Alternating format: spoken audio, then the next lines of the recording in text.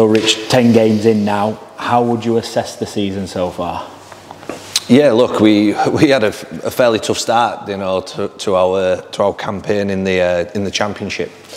So for us, we, we're probably you know really happy of, of the position we are in the table, even though it's you know it's very tight uh, in that middle part. You know, one loss can put you down, you know, 12th, 13th. One win can put you again in the in the playoffs. So it's a real tight division and a real challenging one, which we are looking. We have, you know, we've we've enjoyed it. Um, probably this rest came at the right time for us. We've had, we had a few bodies creaking and needed a, you know, just just charging up the batteries a little bit. Some boys had played some big minutes, and um, you could see that in some of the performances, sort of round nine, round ten, uh, where they was looking a little bit leggy, a little bit tired. So yeah, fingers fingers crossed we'll get a real good response from the boys for having this this period off, and um, yeah, looking forward to Toulouse really.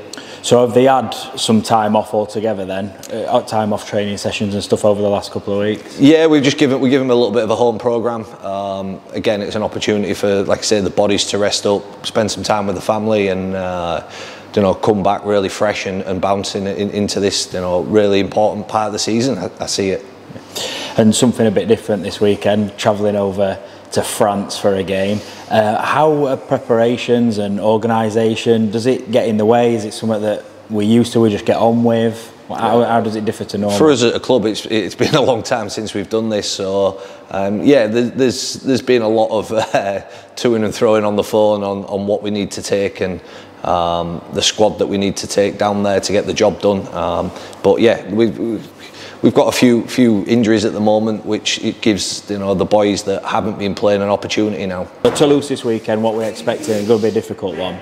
Yeah, very good team, very physical and athletic. You know, some experienced players in there. They're, they're always going to be being a full-time outfit. Um, very close. You can see they're a very close-knit group. Um, so yeah, look, it's going to be a really, really big challenge for us, but one that we're looking forward to.